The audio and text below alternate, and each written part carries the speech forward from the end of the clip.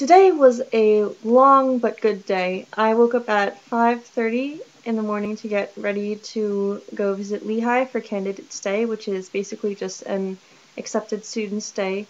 And of course they had their whole introduction speeches and stuff where a bunch of um, people like the president and important people talked. There was one part of that whole introduction session where four professors from the College of Arts and Sciences came to talk a little about their programs. Um, there was a journalism professor, environmental science, philosophy, and theater. The philosophy guy, he walked on stage and I could tell this guy is going to be my new favorite person. Just from what he was wearing, you could tell he was going to be an interesting person. He had on a peach colored button down, a bright luminescent aqua green tie, and a gray tweed blazer. The thing about the blazer, though, was that he only had one of his arms through the sleeves. The other arm was in a cast. So he just kind of had the other sleeve hanging lopsided down his other side, and he had to keep shifting the blazer as he spoke.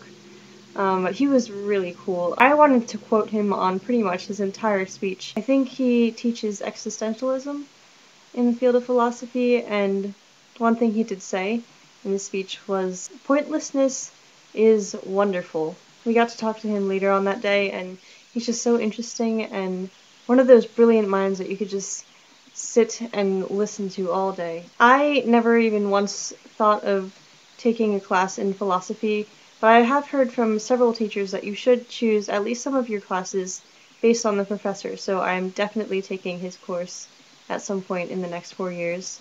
I'm super excited. The whole day was pretty good. Um, there was just the average run-of-the-mill introduction programs um, where you ask students questions and look at the different majors. Got to eat at a really great Mexican restaurant. That was good. I drove all the way home. That was pretty exhausting. I felt like I was gonna fall asleep, but I didn't want to admit it, so I just made myself drive anyway. The thing about that road is there are not a lot of traffic lights, and when you do hit one of the few traffic lights that are, it very seldom is red, and when it is red, it doesn't stay red for very long. I am the only person probably who has ever complained about this, but I really needed a break, so I was just wishing and hoping for a traffic light to appear that I could just take a break and rest for like 30 seconds, but no, of course not.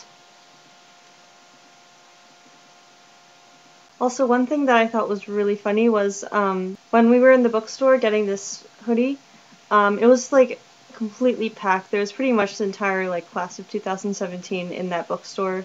Not really, but pretty much. So obviously there was a super long line, and I would have had to wait at least 20 minutes just to get to the cash register.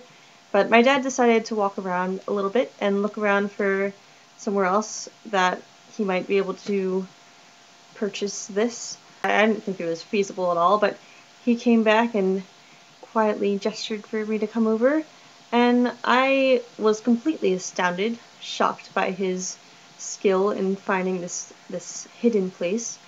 Um, but I walked across the store and I saw that we were walking towards the Starbucks inside the bookstore. We were able to buy this from that register, and I thought that was really funny, because there was no line there at all. My dad can sometimes be a pretty smart guy, I guess. Don't tell him I said that.